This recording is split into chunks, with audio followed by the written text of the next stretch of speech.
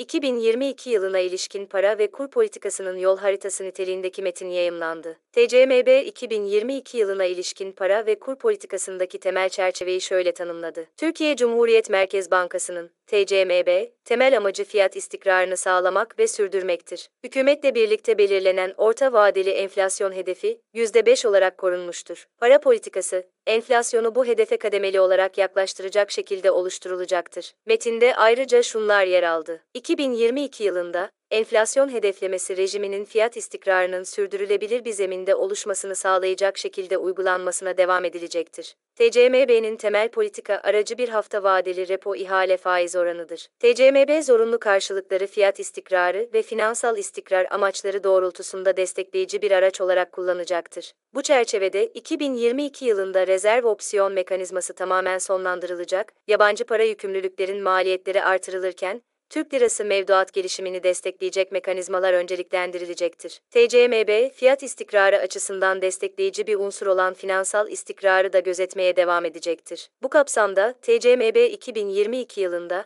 parasal aktarım mekanizmasının sağlıklı işleyişini sağlamak ve makro finansal istikrara ilişkin riskleri sınırlamak amacıyla, elindeki politika araçlarını en etkin şekilde kullanacaktır.